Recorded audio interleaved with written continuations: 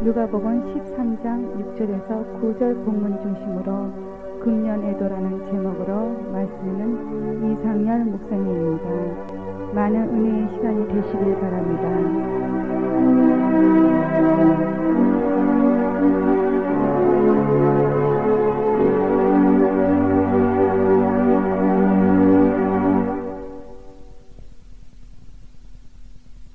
누가복음 13장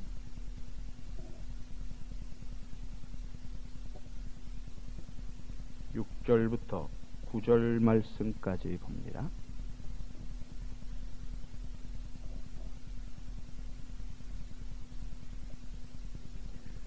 누가복음 13장 6절부터 봅니다. 이에 비유로 말씀하시되 한 사람이 포도원에 무화과 나무를 심은 것이 있더니 와서 그 열매를 구하였으나 얻지 못한지라 과원지기에게 이르되 내가 3년을 와서 이 무화과 나무의 실과를 구하되 얻지 못하니 찍어버리라. 어찌 땅만 버리느냐? 대답하여 가로되 주인이여 금년에도 그대로 두소서. 내가 두릅하고 걸음을 줄이니 이후에 만일 실과를 실과가 열면이 오니와 그렇지 않으면 찍어 버리소서 하였다 하시니라. 아멘.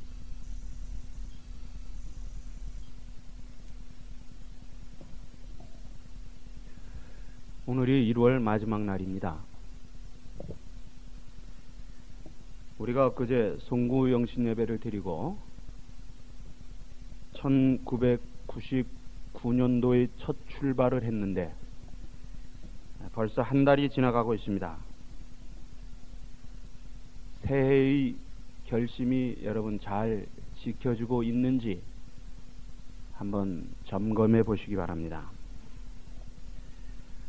한 달을 보내면서 한 달 동안의 우리 신앙을 돌이켜보고 아, 그것을 기초로 해서 남아 있는 열한 달의 신앙을 다시 한번 정리해보는 그런 시간이 되기를 바랍니다.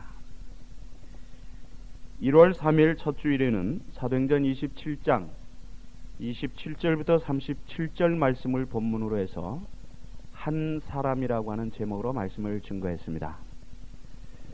한 사람 모세의 간절한 기도 때문에 이스라엘 민족의 죄가 사하여졌고 한 사람 에스더의 생명을 건 희생 때문에 유대인이 멸족 위기에서 살아남을 수 있었으며 한 사람 바울의 사명 때문에 그 배에 탔던 275명의 생명이 구원을 받을 수, 있었고 한 사람 예수 그리스도의 십자가 희생 때문에 우리 모든 인간이 영원한 소망을 얻을 수 있게 되었다고 말씀을 증거했습니다. 1월 10일 둘째 주일에는 빌리보서 1장 20절 21절 말씀을 본문으로 해서 바울의 소원이라고 하는 제목으로 말씀을 드렸습니다. 바울은 세 가지 소원을 가지고 살았는데 첫째는 모든 일에 부끄럽지 않은 자 되기를 소원했고 온전히 담대한 삶을 살기를 원했고 자기 몸에서 그리스도 예수가 존귀 되는 삶을 살기를 원했다고 말씀을 드렸습니다. 1월 17일 셋째 주일에는 사무엘상 2장 6절 7절 말씀을 본문으로 해서 한나의 신앙 고백이라고 하는 제목으로 말씀을 드렸습니다. 한나는 죽이기도 하시고 살리기도 하시는 하나님이라고 하면서 생명에 대한 생명이 하나님의 것이라고 하는 생명에 대한 하나님의 주권을 인정하였고 가난케도 하시고 부하게도 하시는 하나님이라고 하면서 소유에 대한 하나님의 주권을 인정했고 낮추기도 하시고 높이기도 하시는 하나님이라고 하면서 명예에 대한 하나님이 주권을 인정하였다고 말씀을 드렸습니다. 지난주일 1월 24일에는 누가복음 21장 27절 말씀을 본문으로 해서 일어나 머리를 들라는 제목으로 말씀을 드렸습니다. 이 말씀의 뜻, 일어나 머리를 들라고 하는 말씀의 뜻은 자신의 현재 영적인 상태를 점검해 보라는 의미고 어떤 특별한 행동이나 결단을 촉구하는 뜻이 있다고 말씀을 드렸고 하나님을 향해 소망의 삶을 살아야 된다는 그런 의미가 들어 있음을 말씀을 드렸습니다. 오늘은 조금 다른 각도에서 본문을 중심으로 해서 하나님의 말, 마음을 한번 살펴보도록 합니다. 성경에 보면은 특히 열매, 나무 이런 것에 대한 교훈이 많이 나옵니다. 예수님께서도 이 세상에 계시면서 열매에 대하여 여러 번 말씀하셨는데 그 대표적인 말씀이 요한복음 15장에 나오는 포도나무의 비유입니다. 가지인 우리 성도들은 나무인 예수 그리스도에게 붙어 있을 때 하나가 될 때 많은 열매를 맺을 수 있고 삶의 가치를 부여받을 수 있다고 말씀을 합니다. 특히 마태복음 7장 16절 이하에 보면은 예수님이 이런 말씀이 기록이 되어져 있습니다. 좋은 나무가 아름다운 열매를 맺고 또 못된 나무가 나쁜 열매를 맺나니 좋은 나무가 나쁜 열매를 맺을 수 없고 못된 나무가 아름다운 열매를 맺을 수 없느니라. 아름다운 열매를 맺지 아니하는 나무마다 찍어 불에 던지우느니라. 이러므로 그의 열매로 그들을 알리라 이렇게 말씀합니다. 어떤 면에서 보면 이것이 하나 우리들에게 하나의 교훈이 되는 말씀도 되지만 어떤 의미에서는 이것이 경고도 되는 말씀입니다. 마태복음 3장 10절에 보면은 이미 도끼가 나무 뿌리에 놓였으니 좋은 열매를 맺지 아니하는 나무마다 찍어 불에 던지우느니라. 세례 요한도 열매에 대하여 우리들에게 강한 어조로 교훈을 주고 있습니다. 자, 그러면 열매가 무엇입니까? 열매에 대한 말씀이 많이 나오는데 그 열매에 대한 정의가 먼저 내려져야 될줄 압니다. 열매라고 하는 것은 하나님의 백성으로서의 삶을 말하죠. 삶 그 자체를 말합니다. 다시 말하면 이름에 합당한 삶을 살아야 된다는 것을 말합니다. 우리는 개인적으로 다 이름을 가지고 있습니다.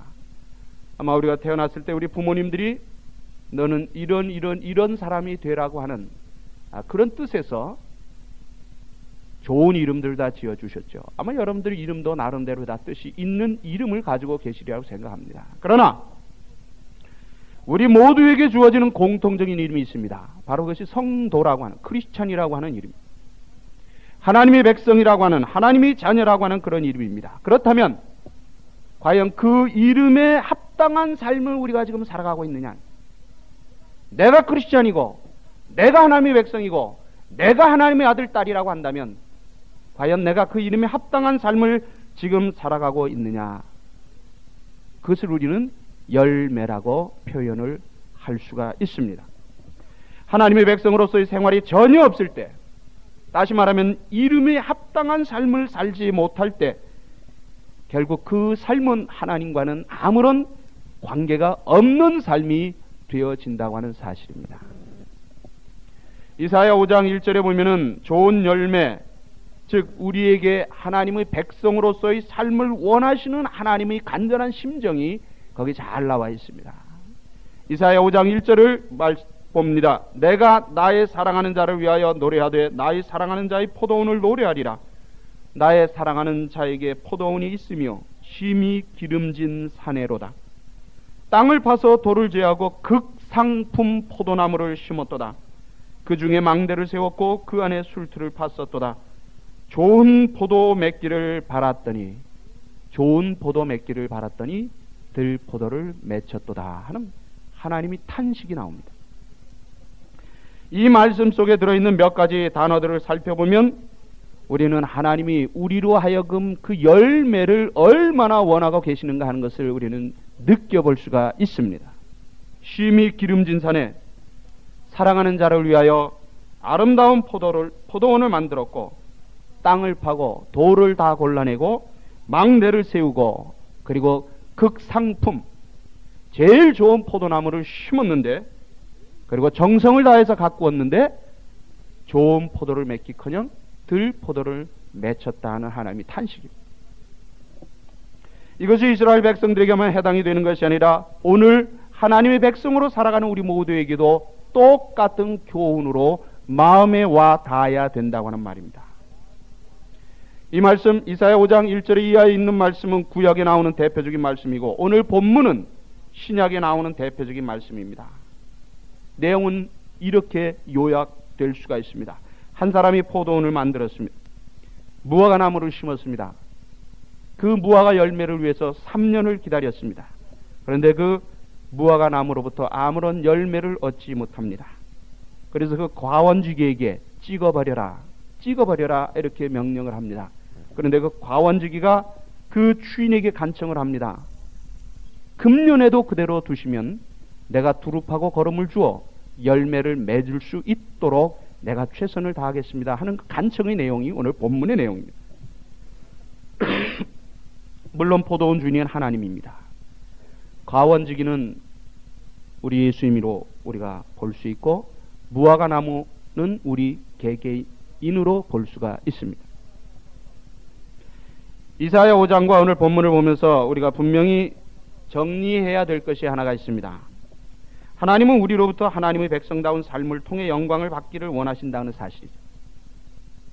창조주 하나님이 피조물인 우리 인간에게 이러한 영광에 대한 요구는 지극히 당연한 요구입니다. 하나님이 우리들에게 이런 영광을 요구하시는 것, 열매를 요구하시는 것이 지나친 요구가 아니라고 하는 사실입니다.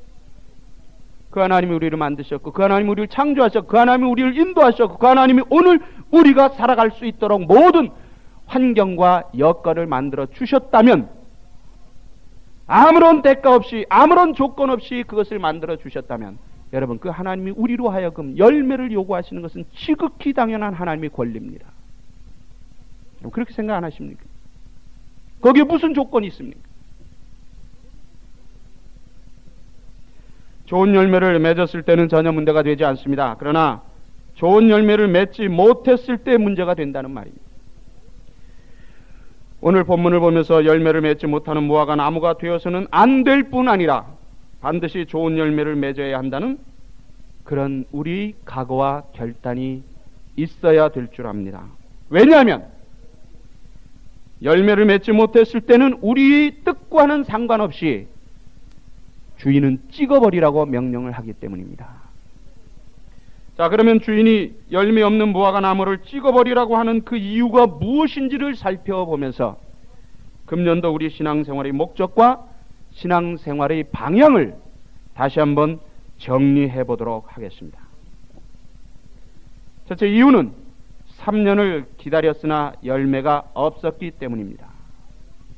열매를 얻기 위해 나무를 심는 것은 지극히 당연하지.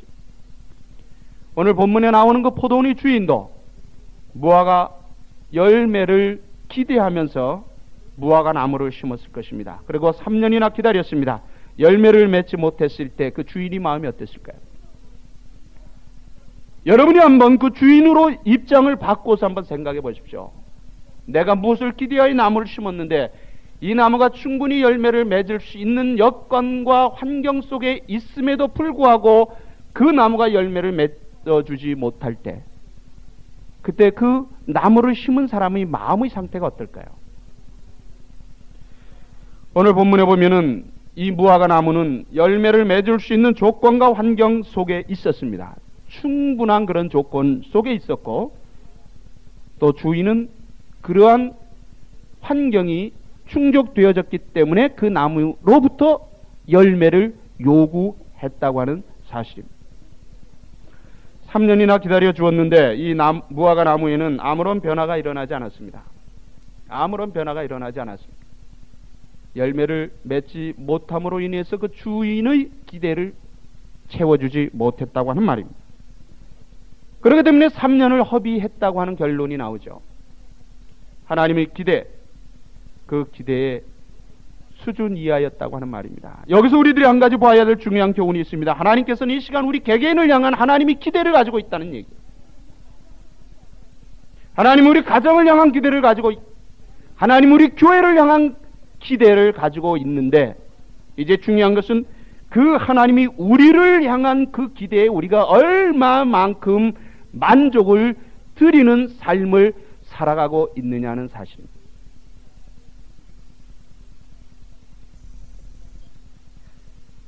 3년이란 긴 시간을 허비해 가면서까지 열매를 맺기 원하시는 그 하나님의 인내를 여기서 볼 수 있어야 합니다.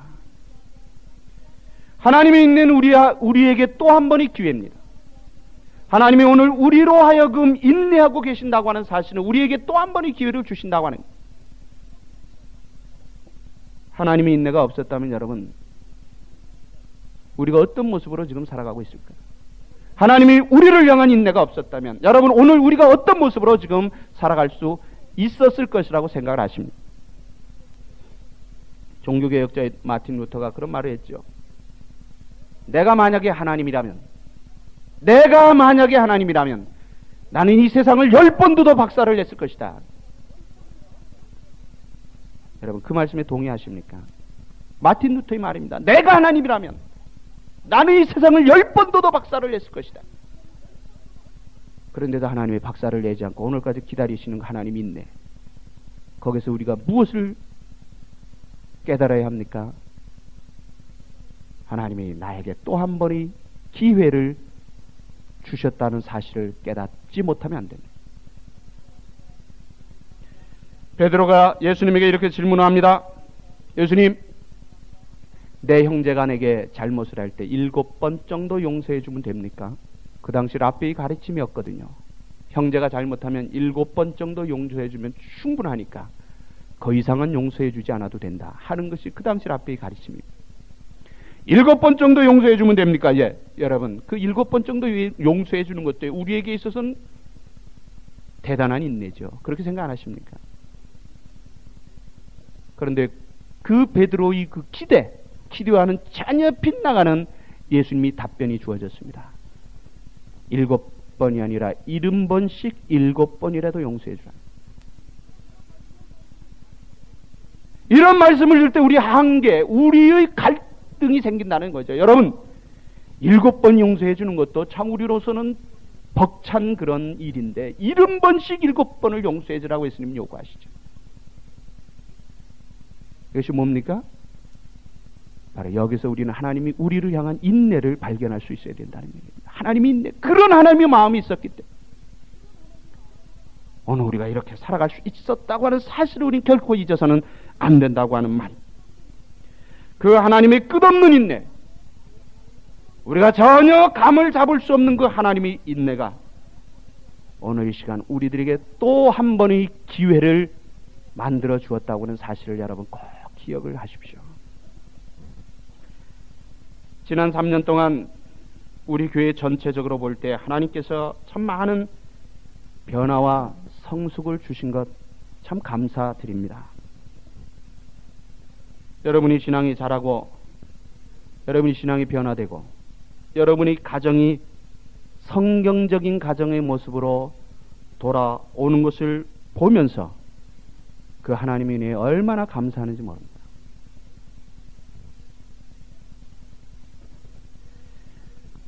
본문을 통해서 3년을 아니 그 이상까지도 인내하시며 열매 맺기를 원하시는 그 하나님의 마음을 우리는 충분히 이해해야 된다고 하는 말입니다.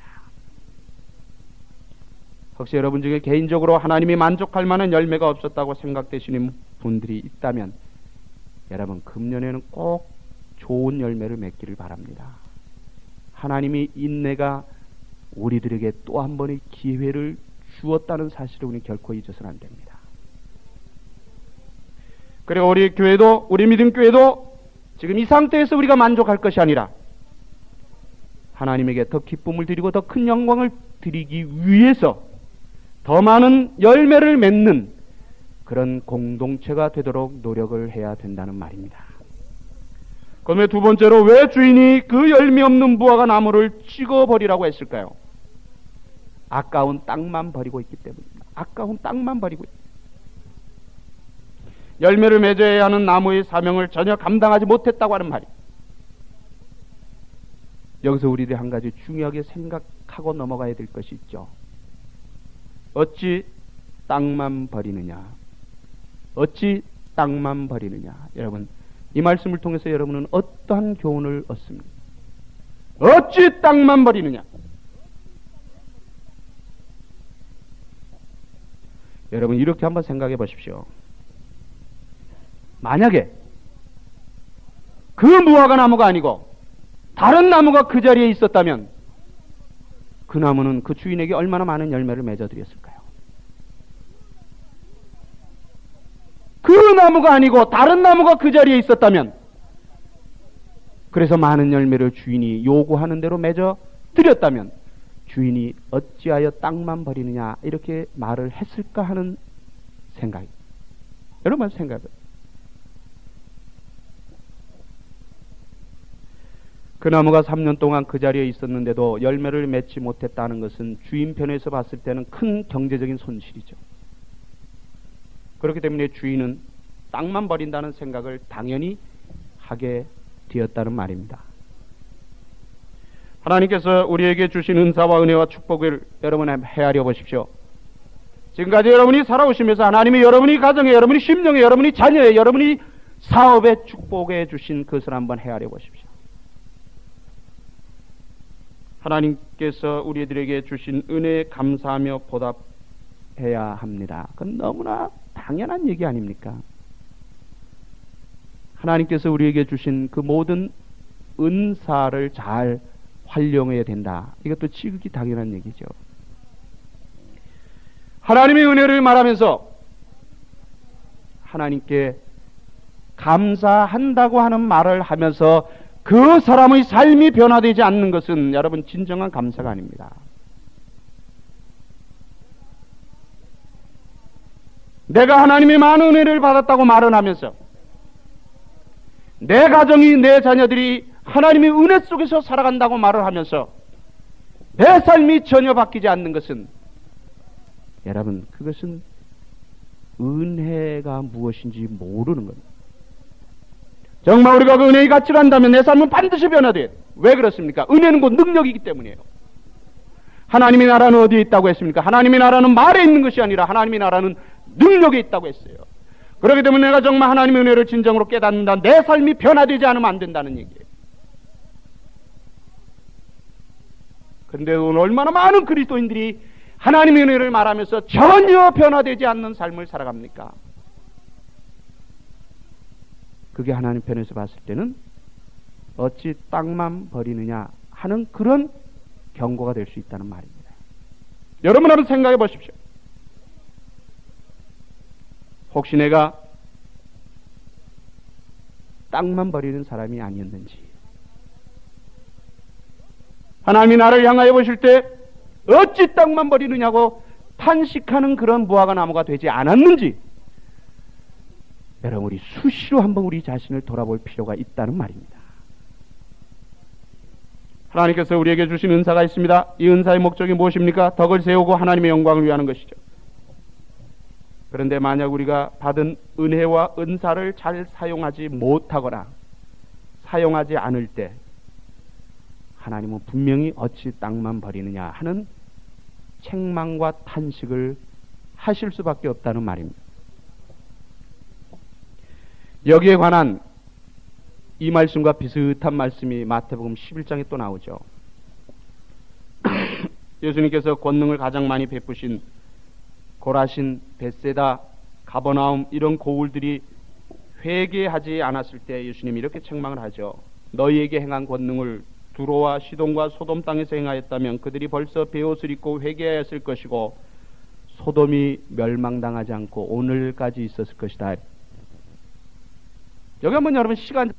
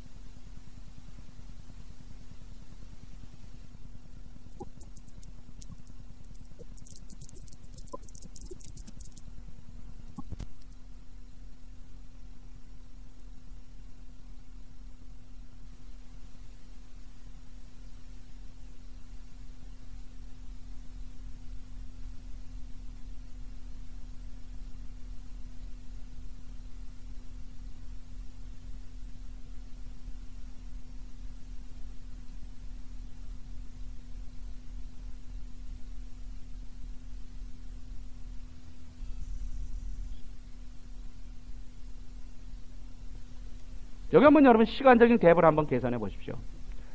예수님이 지금 예수님이 2000년 전에 세상에서 사, 사역하셨죠. 세상에 오셔서 세상에서 사역하셨. 그러면 소돔과 고모라 시대는 언제입니까? 아브라함 시대거든요. 아브라함 시대면 4천년 전. 아브라함 소돔과 고모라는 지금부터 4천년 전이고요. 예수님은 지금 2천년 전입니다. 그러니까 예수님과 소돔과 고모라의 시대는 2천년이라고 하는 시간적인 갭이 있어요. 예수님 말씀이 요지가 이겁니다. 만약에 너희에게 행하니 모든 기적과 권능을 소돔과 고모라에서 행하였다면 2000년이 지난 오늘까지도 소돔과 고모라가 멸망당하지 않고 있었을 것이라는 말입니다.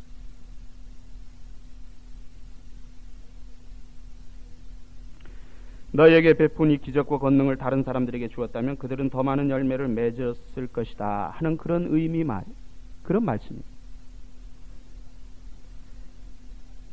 여러분 이 말씀을 우리 삶이 한번 끌고 들어와서 한번 생각해 보십시오. 만약에 하나님께서 나에게 주셨던 우리 가정에 주셨던 그리고 우리 교회에 주셨던 우리 자녀들에게 주셨던 이 모든 은혜와 축복을 만약에 하나님이 다른 사람에게 주셨다면 그들은 우리보다 더 많은 열매를 맺었을까 못 맺었을까 하는 거 한번 생각해 보십시오. 하나님이 내게 주신 은혜를 만약에 다른 사람에게 주셨다면 그 사람은 얼마나 더 큰 열매를 맺을 수 있어. 하나님이 우리 가정에 주셨던 이 귀한 축복을 다른 가정에 주셨다면 그 가정은 얼마나 더 많은 열매를 맺었을까.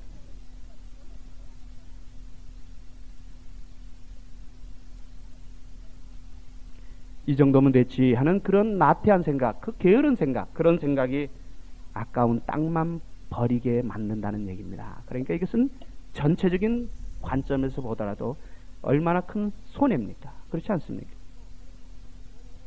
여러분, 우리는 결코, 결코 자리만 차지하고 앉아 있는 그리도인들이 되서는 안 됩니다.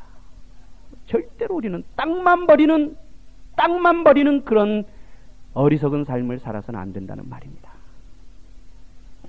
마지막 세 번째로 그럼 주인이 왜 이 무화, 무화과 나무를 찍어버리라고 말했습니까?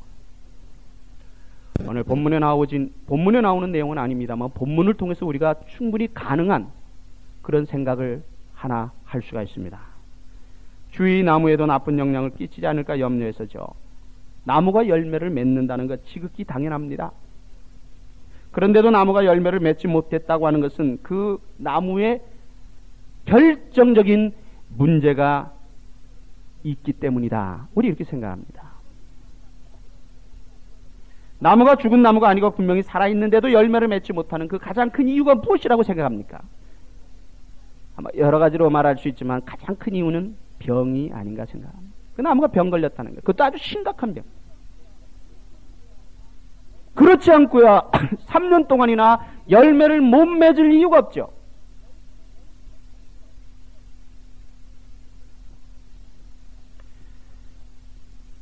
한 나무가 병에 걸렸다면 여러분 잘못하면 그 주위에 있는 다른 좋은 나무들에게도 그 병을 옮길 수 있는 위험성이 있습니다. 우리가 충분히 생각해 볼 수 있는 가능. 그렇지 않습니까? 한 나무가 지금 병에 걸려서 열매를 맺지 못하고 있다면 이 병이 그 옆에 열매를 잘 맺는 좋은 나무들에게도 전염될 가능성이 있다는 거죠. 그렇기 때문에 이 주인은 주위에서 열매를 잘 맺는 다른 좋은 나무들을 보호할 목적으로 그 나무를 찍어버려라 말씀하셨다. 이 세상에는 여러분 좋은 것만 있습니까? 우리 삶, 살아가는 삶의 과정에 좋은 것만 있으면 얼마나 좋겠습니까? 아침에 눈만 떠도 좋은 것. 저는 아주 좋은, 좋은 것만 우리들 앞에 계속 있다면 우리가 전혀 염려할 것이 없죠. 그런데 현실이 그렇지 않다는 거죠. 좋은 것하고 나쁜 것이 우리 앞에 쭉 섞여져 있지 않습니까?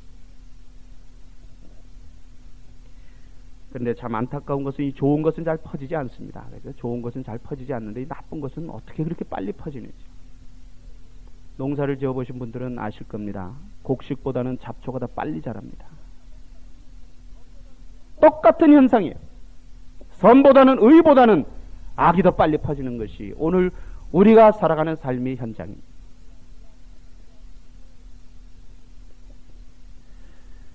부정적인 생각을 가지고 있는 사람, 불평을 자주 하는 사람, 감사가 없는 사람, 짜증을 잘 내는 사람, 그런 사람들하고 같이 있다 보면 자기도 모르게 물이 듭니다. 자기도 모르게 물이 들어요. 아, 나는 그런 거 절대 물 안 들어. 천만에요. 까마귀 노는 곳에 그래서 백로가 가서는 안 되는 겁니다. 까마귀 노는 곳에는 그래서 백로 보고 가지 말라고 한 거죠. 복 있는 사람이 어떤 사람입니까? 악인의 길을 좇지 않고 죄인의 길에 서지 않고 오만한 자의 자리에 안. 여러분 이 말씀 어떻게 이해하십니까? 다윗이 시편 1편 1절 이하에서 정리한 복 있는 사람, 악인의 길을 좇지 않고 죄인의 길에 서지 않고 오만한 자의 자리에 앉지 않는다고 하는 뜻을 여러분 어떻게 이해하십니까? 물론 여러 가지로 이해할 수 있겠죠. 그러나 저는 이걸 이렇게 한번 이해해 봤습니다. 분별력이다. 악인의 길을 쫓지 않는다는 것은 무엇입니까? 선과 악에 대한 분별력이 있기 때문에 쫓지 않는. 죄인의 길에 서지 않는다는 것은 뭡니까? 죄가 무엇인지 분별할 수 있기 때문에 서지 않는 거예요. 오만한 자의 자리에 앉지 않는다는 것이 무엇입니까? 그 자리가 어떤 자리인지를 분별할 수 있는 분별력이 있기 때문에 그 자리에 안 앉는 거죠. 여러분, 우리들에게는 이것이 분별력이 있어야 합니다.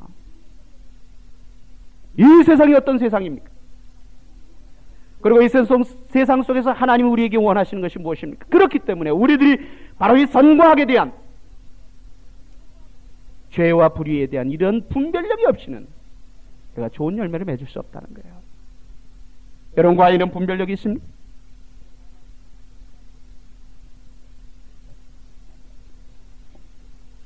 열매를 맺는 것이 나무의 사명인데 열매를 맺지 못했다면 그 나무에는 분명히 다른 문제가 있었다는 것이고 이 나무를 심은 주인의 입장에서는 다른 나무를 보호하기 위해서라도 그 나무를 찍어 버려야 된다는 말입니다.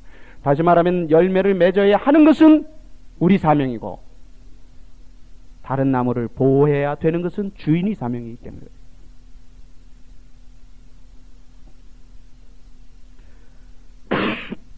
내 삶 속에 열매가 없다고 판단되면 우리는 즉시 자신을 점검하는 삶이 되어야 합니다. 그 지혜가 필요합니다. 여러분 그러면 우리가 지금 열매를 맺고 있다 하는 걸 어떻게 알 수 있습니까? 내 신앙의 삶 속에서, 내 가정의 삶 속에서, 내 교회의 삶 속에서 우리가 열매를 지금 맺고 있다고 하는 것을 우리가 어떻게 알 수 있습니까? 예수 믿는 것은 즐거운 것이죠. 그렇죠? 그럼 그렇게 어떻게 생각하십니까? 예수 믿는 게 즐겁습니까? 예수 믿는 게 기쁩니까? 이러면 열매 맺. 내 삶 속에 예수로 인하여 기쁨과 즐거움과 평안과 소망이 있다면 여러분 그 열매가 지금 맺어지고 있는 거죠. 그런데 예수를 믿는다고 해서 내 삶 속에 기쁨이 전혀 없어요. 감사가 전혀 없어요. 소망이 전혀 없어요. 평안이 전혀 없어요. 그래서 뭡니까? 땅만 차지하고 있는 거죠. 그리고 또 한 가지 우리가 우리 삶 속에서 열매를 맺고 있다는 것을 우리가 어떻게 측정해 볼 수 있습니까? 내 삶이 변화되고 있느냐 하는 거예요. 여러분, 여러분의 삶이 지금 변화되고 있습니까?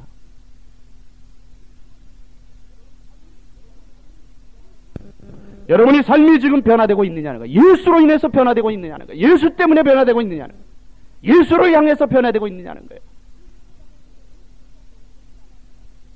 작년보다 올해는 나야죠. 분명히 나야 합니다. 근데 작년이나 올해나 변화되지 않았다면 그건 땅만 버리는 거죠. 어떻게 생각하십니까? 분명히 작년보다 금년은 나야 합니다. 그리고 금년보다 내년은 나야 합니다. 우리 신앙이 자라야 합니다. 우리에게는 신앙의 영적인 아름다운 열매를 많이 맺어야 합니다. 그런데도 불구하고 그 열매가 전혀 없다는 것은 무엇을 말합니까? 오늘 본문에 뭐가 나오죠? 우리가 결코 이런 삶을 살아서는 안 된다는 거죠. 그럴 때 주인이 뭐라고 말합니까? 찍어버려라!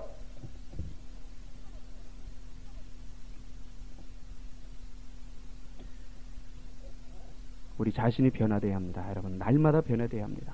순간마다 변화되어야 합니다.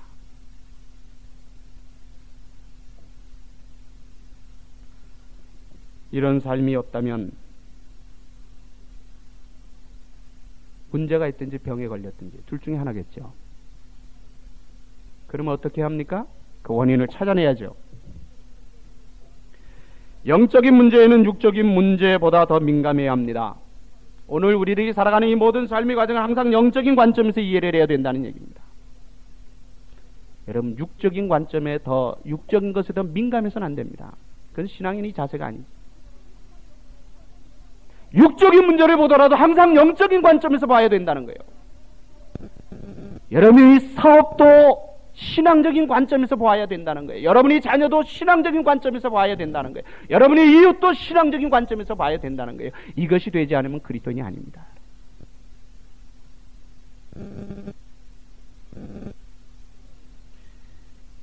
그런데 열매 맺지 못하는 이 무화과 나무가 왜 그래도 지금까지 찍혀지지 않고 있습니까? 찍어버려라! 했는데 왜 그 열매 맺지 못하는 무화과 나무가 아직도 그 자리에 서 있을까요?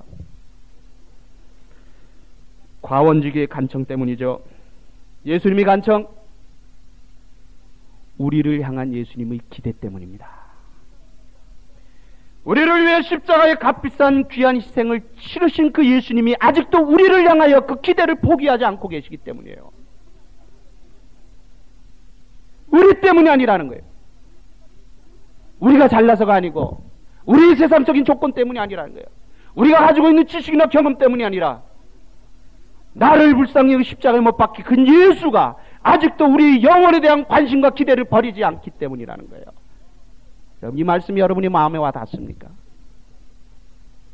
그것 때문에 아직도 그 나무가 그 자리에 있는 예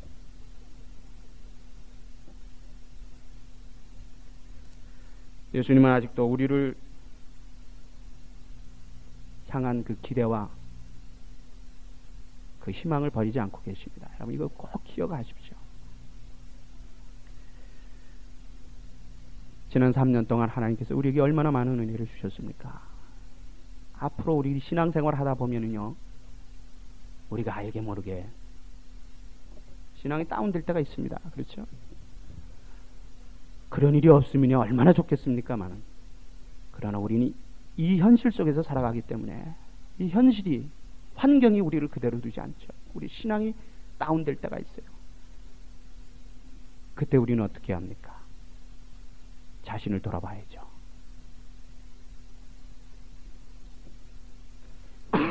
내 마음에 기쁨이 없을 때,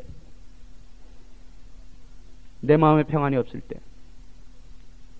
내 입에 감사가 없을 때, 어느 순간인가 내 입에서 기도가 끊어졌을 때 여러분 그 신앙은 지금 병에 걸려 있다는 거예요.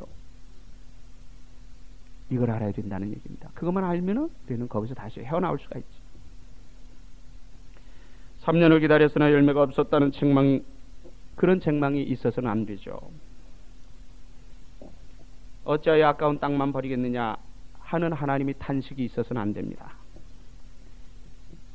만약 하나님께서 나에게 우리 가정에 우리 교회에 주신 은혜를 다른 사람과 다른 가정과 다른 교회에 주셨다면 그들은 얼마나 더 큰, 더 많은 열매를 맺었을까 하는 그 생각을 우리를 관리하는 그런 차원에서도 우리는 수시로 해야 된다는 거죠. 우리가 지금 하나님의 기대대로 열매를 잘 맺고 있다 하더라도 항상 우리를 채찍질하는 이 자극적인 것이 있어야만 우리가 나태해지지 않죠. 우리의 삶 속의 기쁨이 긍정인 생각이 소망이 평안이 없을 때 내 삶이 내 주위에 있는 사람들에게 나쁜 영향을 끼치지나 않을까 하는 두려움 마음을 가지고 살아야 합니다. 혹시라도 신앙이 다운될 때 지금 말씀드린 데 우리는 신앙을 일으켜 세우는 그런 결단이 있어야 됩니다. 열매가 없음에도 불구하고 우리가 우리 자리를 지킬 수 있는 것은 아직도 우리 개개인을 향한 주님이 기대를 버리지 않고 계시기 때문입니다. 하나님께서 우리 각자에게 우리 가정에 우리 교회에 주신 사명을 잘 감당하여 금년 한 해 더 많은 열매를 맺는 복된 삶이 되시기를 주님의 이름으로 축원합니다. 기도드리겠습니다. 하나님 감사합니다. 지난 여러 해 동안 하나님 저희 교회에 주신 그 은혜를 생각하면 하나님 우리에게 입이 만 개가 있어도 그 은혜와 사랑을 어떻게 다 감사할 수 있겠습니까?